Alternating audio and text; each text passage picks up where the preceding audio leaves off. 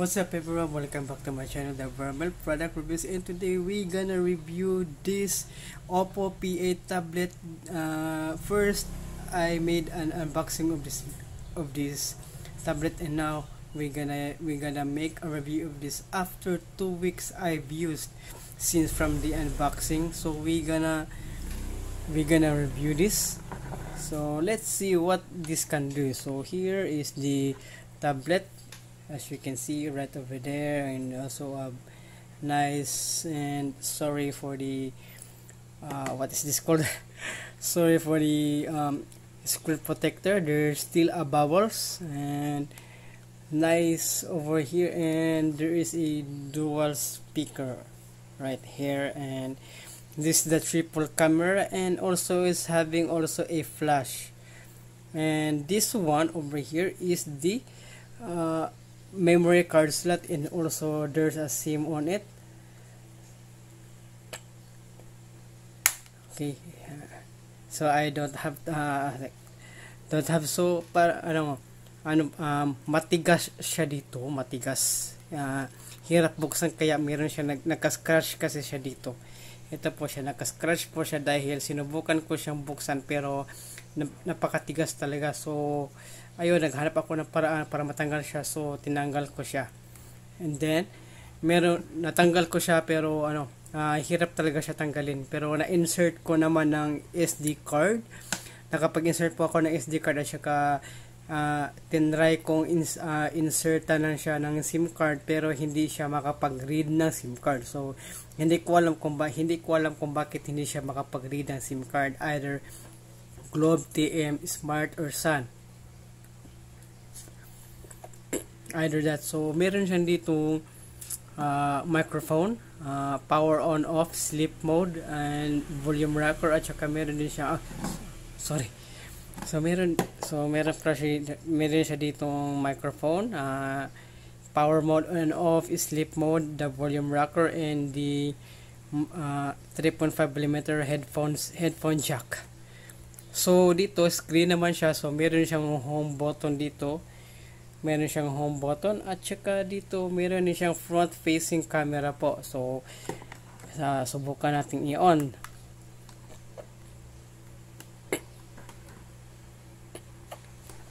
So ito po siya So, dali lang siya na sleep mode. So, ito po yun siya. So, itong screen niya, at meron siyang mga quick access dito. So, meron siyang phone answering, at saka clock, at saka camera. So, okay.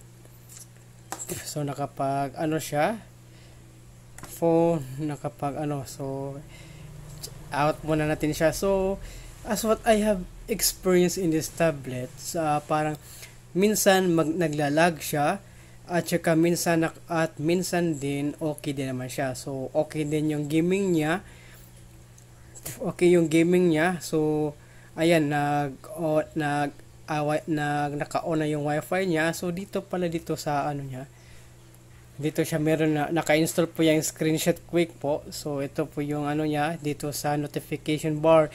Wifi bluetooth talaga ito SIM card. So hindi ko na lang ng SIM card. So airplane mode portrait or landscape. Meron din siyang kasi siyang flashlight. So location at saka cast screen. So ibig po pala sabihin ng cast screen ay pwede mo siyang i-mirror from smart TV uh, from from tablet or phone into sa ano into sa smart TV. So kung meron kayong kung yung smart TV ay supported po ng cast screen, pwede pwede po itong i-connect at saka naka-mirror po siya. So, dito tayo sa ano? Dito tayo sa meron na ako nitong mga quick access. So meron din akong uh, uh, messenger facebook settings gallery check twitter. So dito muna tayo sa settings niya. So uh, makikita po natin dito sa settings ay yung mga iba pang mga mga functions po uh, dito sa tablet na ito. So, check po natin. As what I have said, may pakalag po siya minsan. At saka meron din namang ano, so medyo matagalan pa rin siya sa pag ano, paglo-loading po. So, ito po yung disadvantage po na tablet na ito. Pero, hindi ko po sinasabi na ano? So ayan po naglabas na po siya. So as what you as, was, as what you have seen here dito sa tablet na ito ay meron pa rin siyang wifi bluetooth sim card data usage display sound notification storage battery apps location um, meron at uh, tsaka ang nakagandahan nito kay meron po siyang scheduler power, power on and off. So kapag ano buksan po natin itong scheduler na power off. So, mag-off po itong tablet na ito 9pm in the evening. At saka mag-on din naman siya 6am in the morning po. So, nito, uh, maganda po siya. Yan po rin ang kagandahan ng tablet na ito. Same po ito sa nakaraang tablet ko na Alcatel Pixie. So, dito tayo sa about tablet. So, dito naman tayo papunta sa about tablet kung ano ba ang meron nito. So, kitang-kita po dito sa tablet na ito. Ito po yung mga legal information at saka yung model number niya ay P8 po. Android version na 11.0 na naka-CPU information po ito ng 10 core at 2.0 GHz. At saka yung screen size niya ay 2550 by 1440 40. So, yan po ang kanyang, ano, yan po ang kanyang tawag dito. At saka dito naman, so makikita po natin itong storage niya. So, ilan po ba ang storage na to? Malaki pa yung storage niya. 512 GB po yung storage niya. So, ibig sabihin po, napakalaki po ng storage na ito. At saka, makikita niyo po dito sa, ano,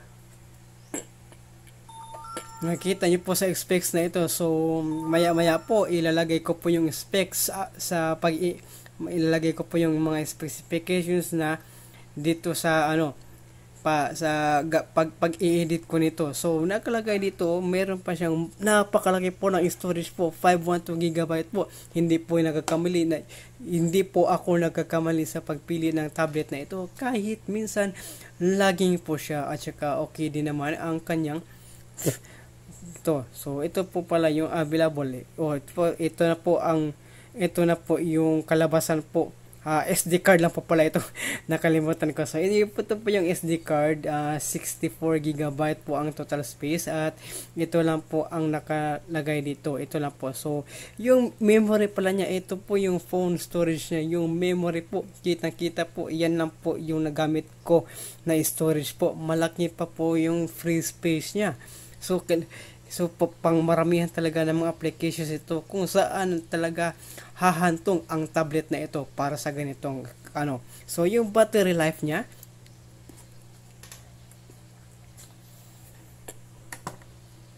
So, ganyan po. Uh, kapag kiniklik ko siya, mas matagal siyang mag-open.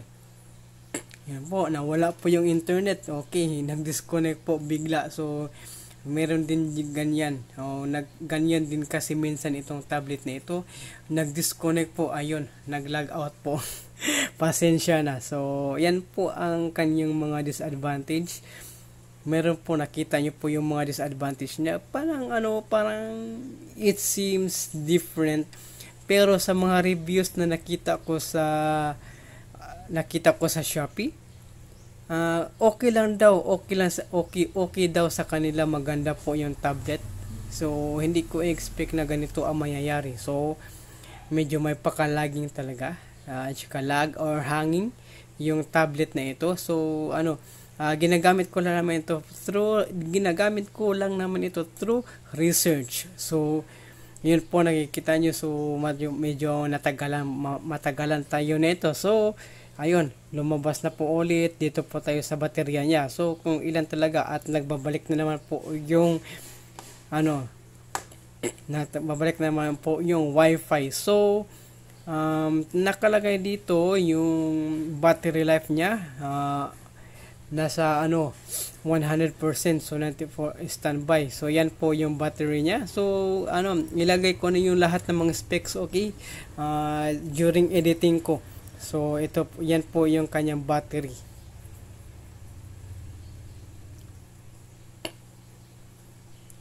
So, natagalan na naman. So, talagang ano, so kung gusto niyo bumili nito, so is up to you, okay?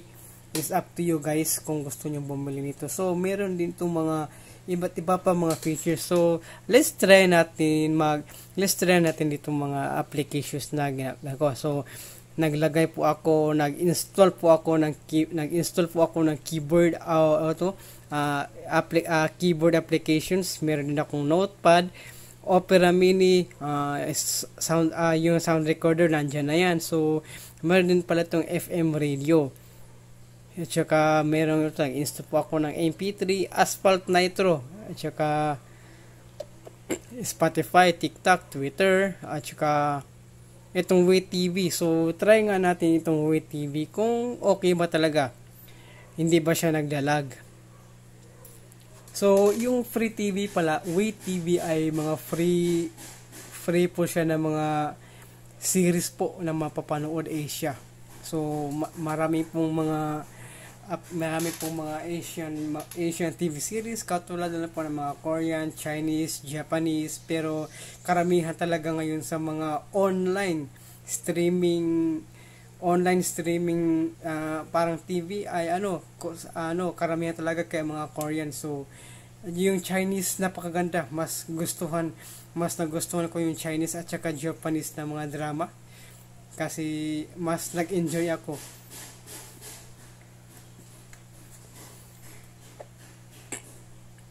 So, medyo matagal lang siya, konti. So, let's just wait lang for a moment kung uh, nag aano uh, talaga siya. So loading, hindi ko pa ito nabuksan eh since nung pag-install ko nitong application na ito. So try na lang natin. At saka i-try din natin itong mag-connect ng ano, i-try natin itong mag-connect ng Bluetooth keyboard at saka yung wireless na mouse.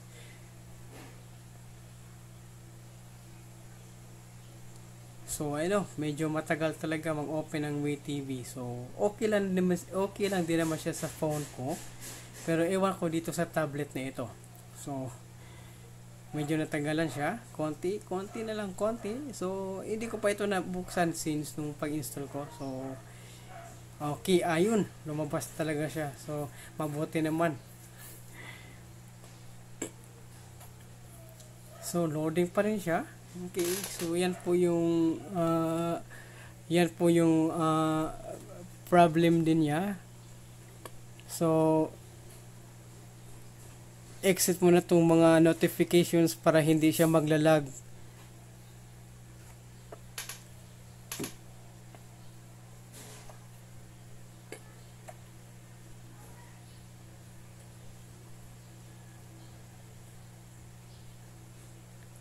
Okay. Um,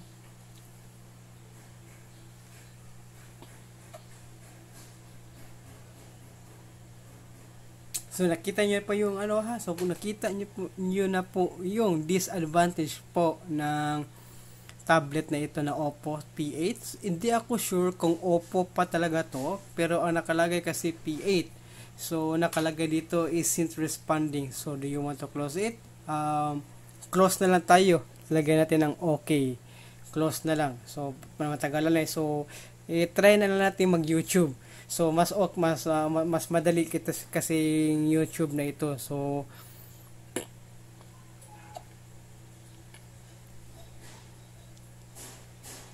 So, medyo may pagka hang, uh, lagging talaga. So, pagpasensyahan nyo na po.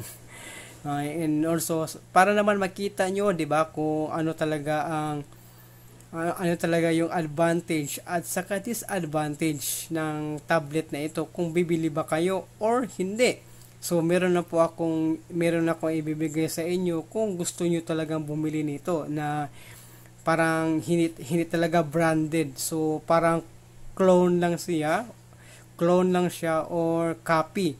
So hindi ko siya mapwede masasabi na fake kasi uh, nakakasira din po tayo ng ano sa kanilang mga sa kanilang mga tablet kung ano yung masasabi ko. So hindi din pa hindi rin hindi rin po pala ito sponsored video. So ginawa ko lang ito for entertainment purposes po at para lang din po para sa inyo mga mga viewers na nanood at saka meron din kayong idea kung bibili kung bibili ba talaga kayo or hindi. So medyo matagal po siya.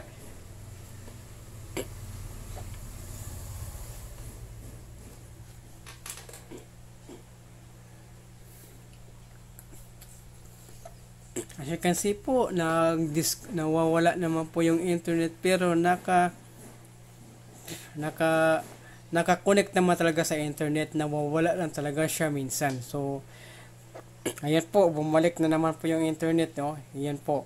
So wait na lang po natin na lumabas lumabas po yung home screen po ng ano ayun ayan po. Naglo-loading na po siya. So yung nakita yung green dyan yun po yung online na. So advantage din pala nito ay minsan nawawala yung internet connection kahit naka-connect na siya. So, ito po siya.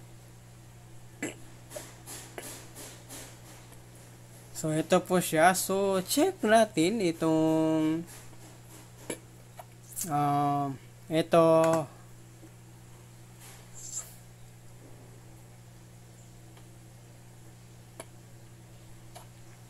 So, ito. So, ano, kiniklik ko na, di ba? Kiniklik ko na, pero hindi pa. Ayun, okay. Kapag ganyang color, nakaano na siya. Yan.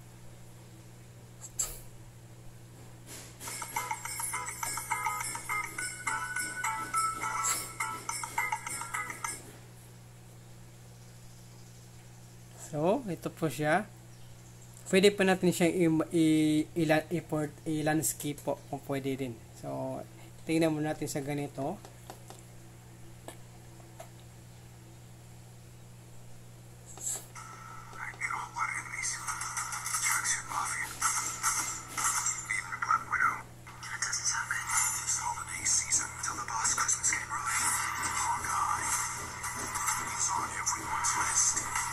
So, i-landscape natin siya. hindi ko pala naka hindi pala naka landscape dito tapos siya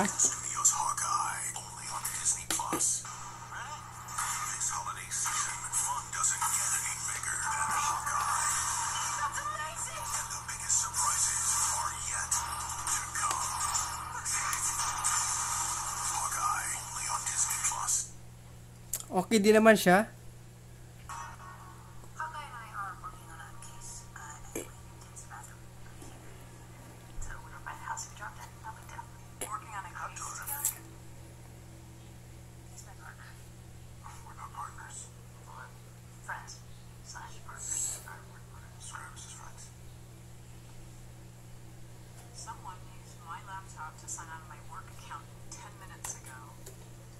So, okay din siya, di ba? So, okay lang naman yung ano niya. Minsan may pagkalaging din yung video.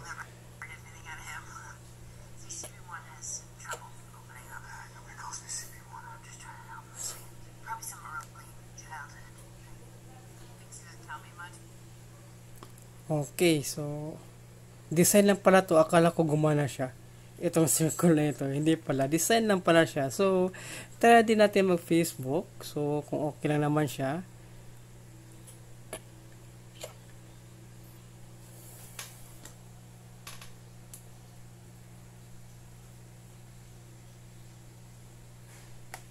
Actually, kapag nag-Facebook ako dito, um, okay lang din naman siya.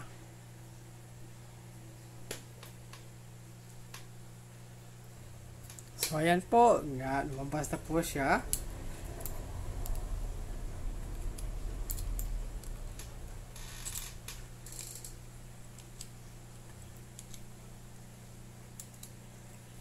Lumabas na po siya. So, uh, exit na muna natin yan kasi na-post ko na yan. Sa pasensya na po. So talagang sadyang, nag, sadyang loading lang talaga itong tablet na ito. Um, malaki malaki din naman yung memory niya pero bak, pero pero pero may pagkalag din talaga siya. So uh, hindi ko pa uh, ginatry ko na siya mag-gaming. So try po natin mag-gaming dito kung okay ba talaga siya. So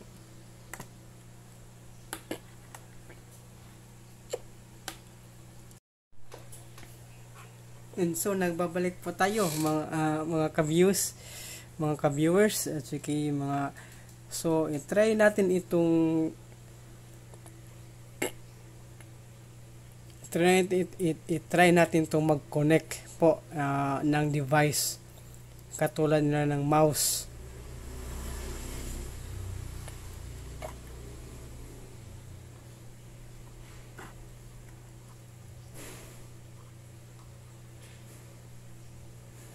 So, check natin kung naka landscape ba siya. So, naka auto rotate po siya. So, ito na natin siya mag-rotate.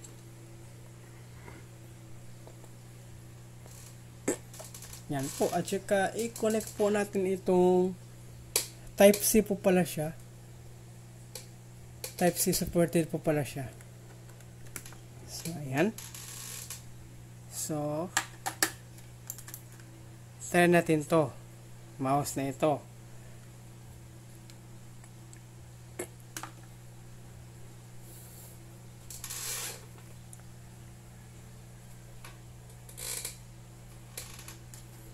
Kung mayroon ba siyang lalabas na mouse.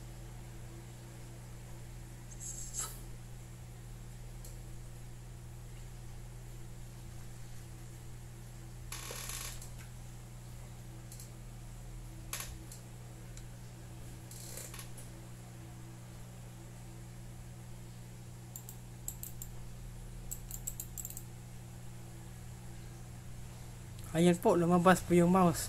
Okay. Ayos.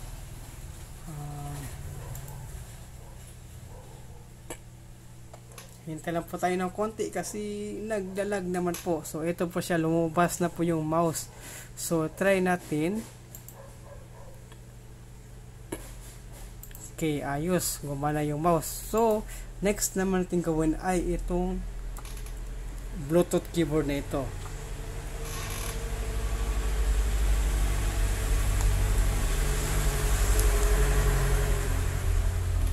lobat pala to so okay try lang nga natin.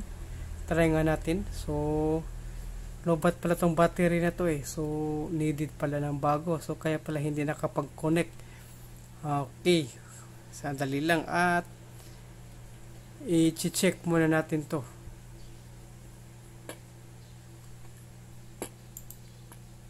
So bluetooth. Dito tayo sa bluetooth para makapag connect po itong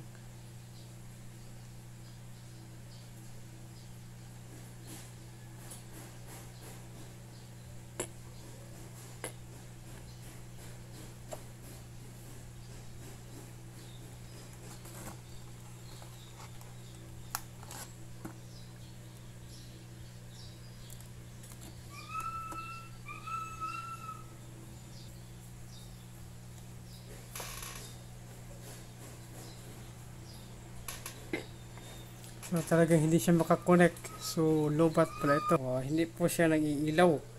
Nagbublusan na yan eh. No. Eh, paano ako makagamit nito?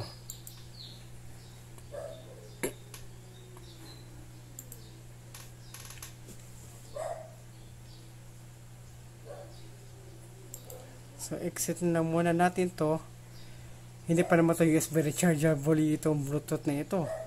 So sana magagamit ko sana siya.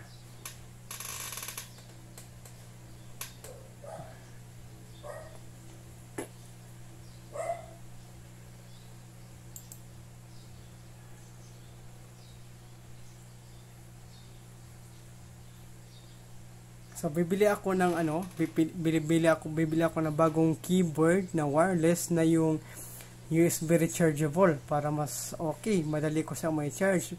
Uh, battery operated lang kasi ito eh. So ano, hindi ko talaga ano sa sa miniso ko lang kasi ito nabali, na, nabili. Kaya ayun.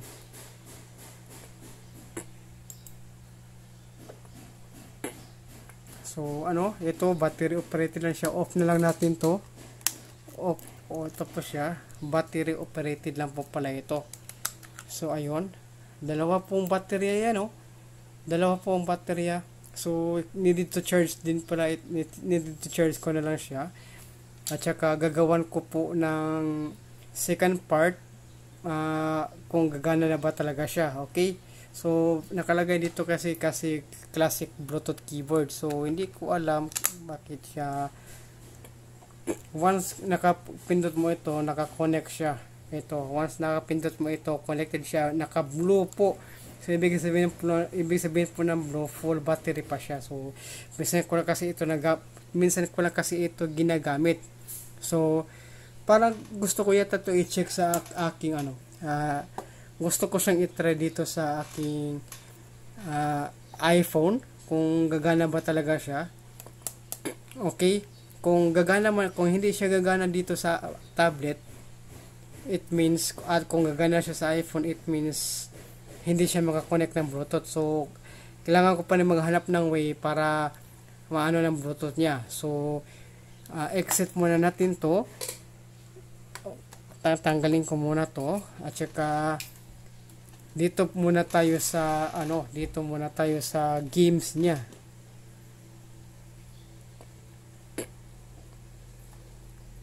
Ganyan na talaga siya. Pag ganyan na talaga siya.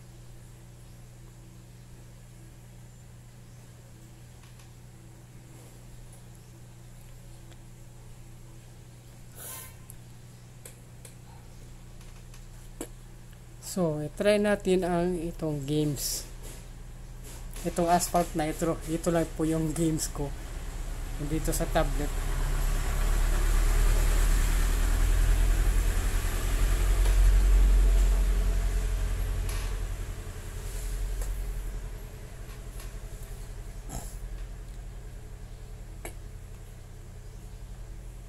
Para makita nyo kung okay lang ba siya gagamiting laruan. O eh, maglaro. Kung okay lang ba siya gamitin maglaro dito sa tablet. Kapag uh, gaming na uh, pinag-uusapan. So hindi ko ito hindi ko ito recommendation and suggestion na dito kayo mag mag mobile legends. Kasi parang ano napaka loading niya at patagal siya mag matagal po siya. So pang ano ko na to eh, pang notepad lang din ko ito, pa, pang notepad at saka pang research lang na gagawin kong vlog. So yun po, yun lang po ang purpose po nitong tablet na ito. So dito po ako sa Samsung ko maglalaro. Yun po, nagloading na po siya. So I think 3 minutes siguro 3 minutes siguro. So kung meron lang akong ano um, game console, game, gaming device para doon ako ano magaganyan ako maglalaro. So okay din sana. 'Di ba?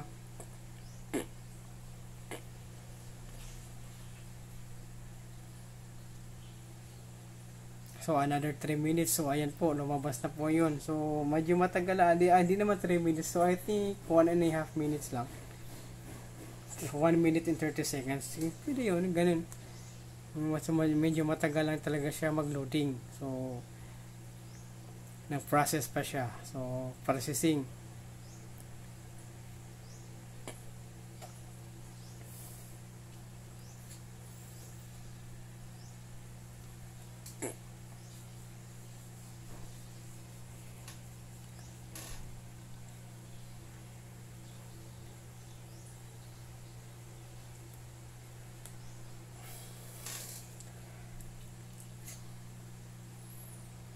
So, medyo loading lang. So, parang ano,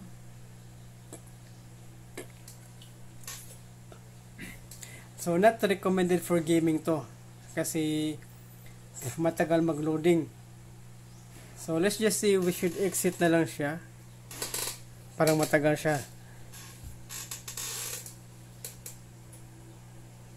Okay, exit na lang natin yan. At saka,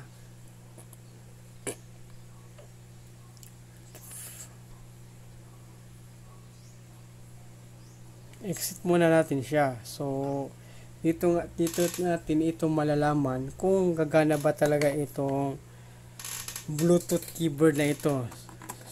So, open nga natin. Um, so, naka-on naman itong Bluetooth always kasi sa phone ko. Na, naka-on kasi itong Bluetooth kasi naka-connect ito sa watch ko.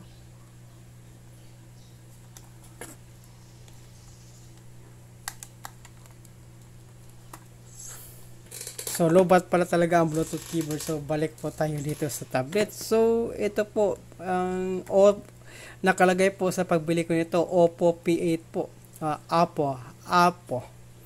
Apo po ang pag-pronounce niya, Apo. So, parang letter A po siya na pina-O. Opo. So, okay. Slang po. Islang po na letter O po yun. Opo.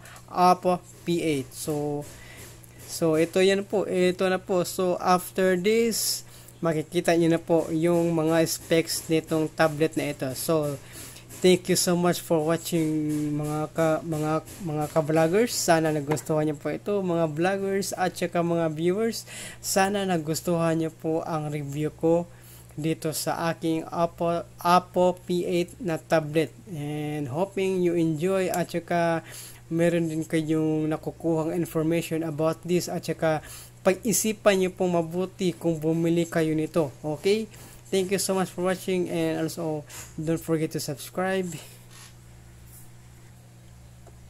And also, don't forget to subscribe to my channel and click that notification bell para ma-notify kayo parati sa mga upcoming future, future videos dito sa channel ko. So, uh, kita-kita po tayo sa sunod na mga vlogs. Okay, so thank you so much and peace out everybody.